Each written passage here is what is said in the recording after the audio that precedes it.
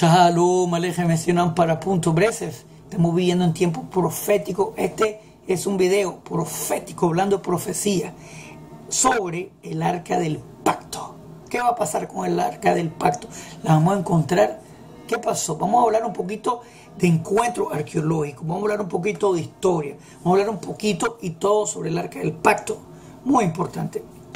Estamos viviendo un tiempo profético, estamos ya más o menos en el tiempo de Ezequiel 37. El pueblo de Dios, el pueblo de Israel ya está regresando a su tierra. Lo estamos viendo. Hay más judíos viviendo hoy en día en la tierra de Israel que fuera de Israel. Eso es profético. Pronto, de acuerdo a Ezequiel 37, el Mesías de Israel se revela.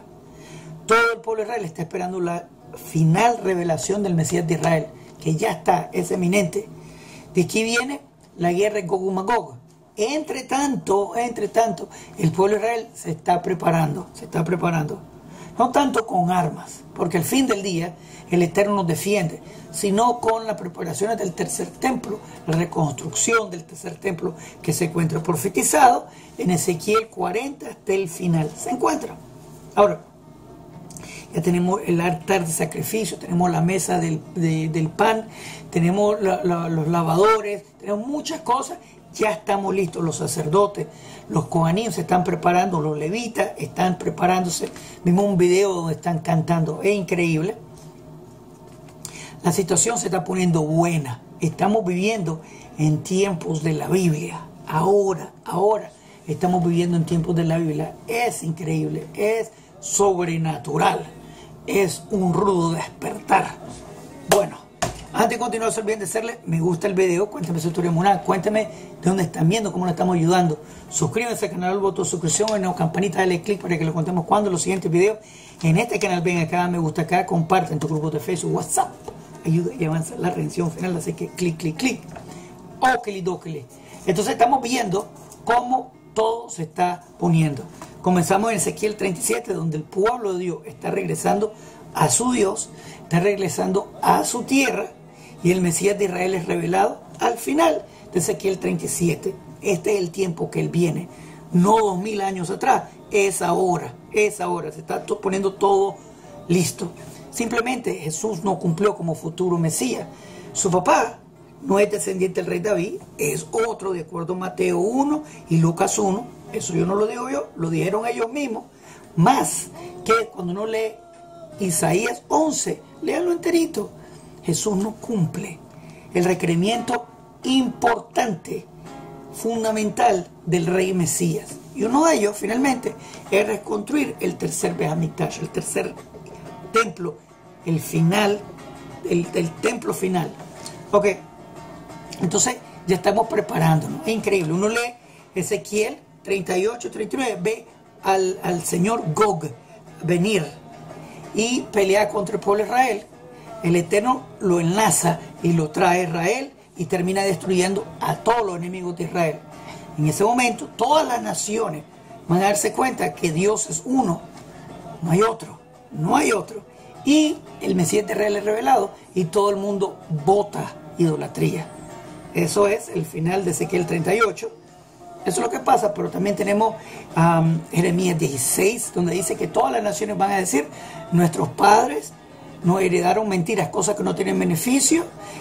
Zacarías 8 dice que todas las naciones van a agarrarse del tzitzit, del cordón del judío van a decir, sabemos que Dios está contigo. Zacarías 14 dice que al fin de toda la guerra en Gog Magog, todas las naciones van a venir a alabar el Eterno, todas aquellas naciones que quedaron vivas después de la guerra de Gog Magog, cuando se dieron cuenta que en no hay otro Dios, no hay otro Dios. El mismo el Eterno lo dice, que Él es nuestro Salvador. Y al lado de Él no existe otro. Salmo 146. No pongas tu confianza en el ser humano porque no tienen salvación. Nuestra confianza, nuestra fe no es en un ser humano que es carne y hueso, sino en el Dios. El Dios que manda el Mesías verdadero.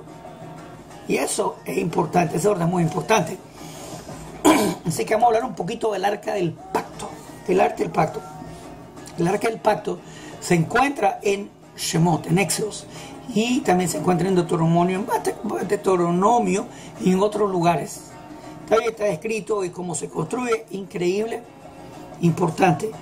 Ah, vemos su acción en Josué, en jueces, en Samuel, primero y segundo, en crónicas, primero y segundo, salmos y eventualmente en Jeremías. Increíble. Ah, vemos cuando los palestinos se la roban y les causa hemorroides. Eso es increíble y divertido. Vemos cómo el Eterno trabaja y el orden, el orden. Hay una, un anuncio que vi que bastante perturbante en Toronto y creo que son brasileños. Creo que la iglesia universal o algo así se llaman que tienen una réplica del templo en Brasil y tienen una réplica del arca y la carrean como que si fuera la verdadera y tienen gente que no son levitas pretendiendo que ser levitas. Yo no sé cómo esa gente no tiene temor de Dios. Me sorprende. Aquí vinieron a Toronto, van a presentarse creo mañana y tienen el anuncio en el periódico, periódico grande diciendo, wow, el milagro que el arca del pacto trajo. No, no, eso es una réplica y es una mentira. Esa gente no son levitas, esa caja es una caja que está haciendo plata una alcancía más que otra cosa, pero no tiene santidad. El arca del pacto tiene santidad, pero no me, no me puedo explicar cómo hay gente que pretende ser levita, pretende ser sacerdote y no lo son. Y tiene, no sé cómo no tienen temor de Dios o llevan esta caja a todos lados pretendiendo. Podría ser lo mismo de los mesiánicos Nazratim, que 99% de ellos no son judíos. Hay unos tres pelados judíos pero la mayoría no son judíos. Ahora, me gustaría que muchos de ellos, la mayoría, bueno, todos, abandonen idolatría. Muchos de ellos son descendientes de los Anusim y son engañados. Una continuación de la Inquisición, una forma astuta del diablo de mantenerlos prisioneros en idolatría. Nuestros hermanos Anusim fueron forzados a Jesús, Nuevo Testamento. Hoy en día, los mesiánicos Nazratim le cambiaron el nombre Yahshua. Suena judío, no es hebreo. Yeshua es hebreo, pero no es el Mesías. Nuevo Testamento le pusieron Brita Dasha, bien bonito. Ese no es el nombre. Y se lo ponen en meta para sonarle el sabor kasher, pero no es kasher. Y esta gente, sus líderes, no son judíos, andan inventando, disfrazándose como judíos. y no sé cómo no tienen temor de Dios. No sé cómo tienen temor de Dios.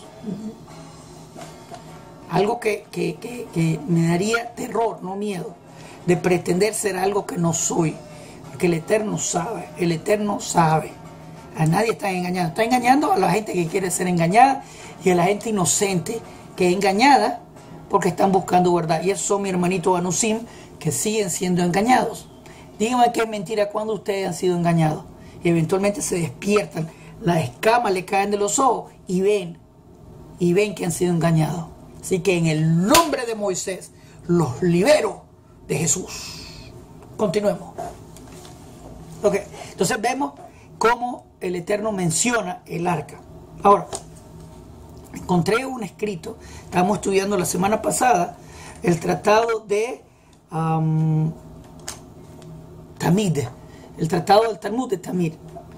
El Talmud, para que sepa, es un escrito histórico, valor increíble, le llamamos la ley oral, pero en, su contenido es un valor histórico y nos dio a entender cómo la Torah se practica, cómo se vive.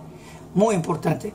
Y tiene muchas cosas increíbles. Ahora, lo que estábamos leyendo fue que cómo el templo estaba construido, en el tratado Tamid, cómo está construido, qué, tiene aquí, qué tiene allá, qué, esquinita esto, qué esquinita de otro, muy descriptivo.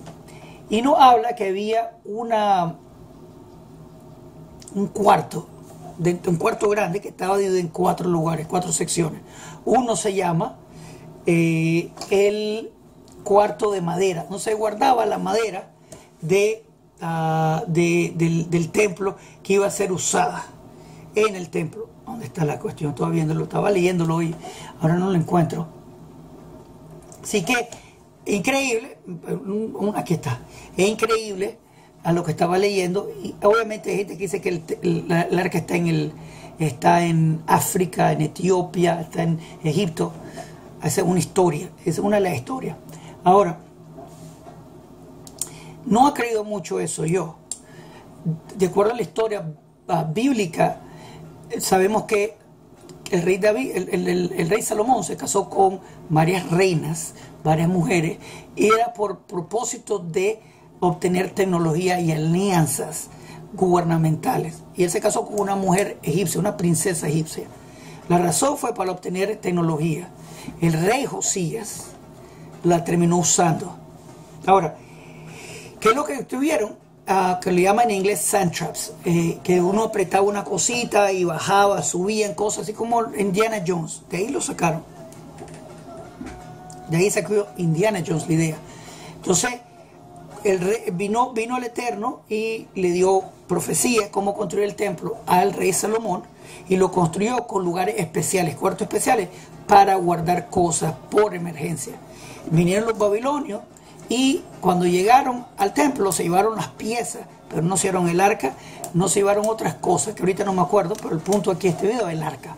Cuando el rey Osías supo que venían a capturar uh, el arca, apretó lo que apretó, eso es lo que hizo, y el arca se fue escondida debajo del templo. Ahora, le voy a leer un poquito del Tratado de Yoma 53, que como dije también se encuentra en Tamid, pero esta parte no se encuentra en Tamid, esta parte se encuentra en Yoma, la historia que le voy a contar. En Tamir habla de la construcción del templo, así como en Yoma, el Tratado de Yoma, pero Yoma describe algo interesante que le voy a leer. Dice, Yoma 53b, y fue que, ah, que fue tomada para Babilonia, de acuerdo a otros, uh, después que el templo fue destruido, perdón, existen varios eh, pensamientos de qué pasó. Uno de ellos que fue llevado a Babilonia. De acuerdo a otros, no fue llevada a cautividad, fue escondida en el templo, en el apartamento, en el cuarto que les dije, que se llama uh, de madera, que fue para guardar la madera que para encender fuegos y se encuentra una historia que había cierto Cohen, cierto sacerdote, que estaba trabajando ahí y notó en una de las piedras un piso que estaba al suelto, imagino.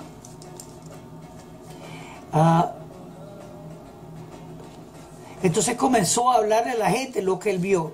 De acuerdo a la gente, piensa que fue que vio el arca. Y cuando comenzó a contarle al otro sacerdote, se murió, se cayó muerto. ¿Está bien?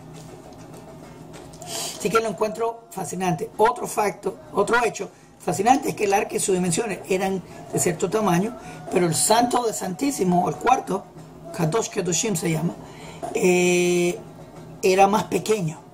Así que de una manera se acomodaba el arca solita para acomodarse en ese cuarto. También cuando la gente de Israel estaba en favor con Dios, los ángeles se miraban cara a cara. Cuando estaban en desacuerdo, los ángeles se volteaban solitos. Que lo encontré fascinante. Ahora vamos a hablar lo que dice Jeremías. Ah, como dije, eh, el arca fue escondida. Este es el Ron Wyatt, te quiero contar, perdón. El Ron Wyatt, un famoso arqueólogo no judío, él él dice que encontró varias cosas que estoy de acuerdo, me gusta. Me, caía, bien. Hay veces en su, en su, edad tarde ya se puso muy sensacionalista. pero bueno, esa es la situación de la vida. Ahora, ¿qué pasó? Que él dice que un día estaba caminando y encontró el arca en un monte en Jerusalén y que se metió y que vio un ángel y que la sangre de Jesús cayó y se derramó sobre el arca él no estaba ahí, no, nadie sabe lo que pasó. Dice que le encontró, está bien, ¿por qué no? Pero después la otra historia es un poquito fantástica, de que vio que había una grieta en el techo y, que se derramó la sangre de Jesús sobre el arca. Pero la idea obviamente es no teológicamente uh, La sangre de un ser humano no es kasher para poner en el arca, no lo es. existe un sacrificio humano perfecto no, no existe un sacrificio humano kasher, correcto, de, Dios.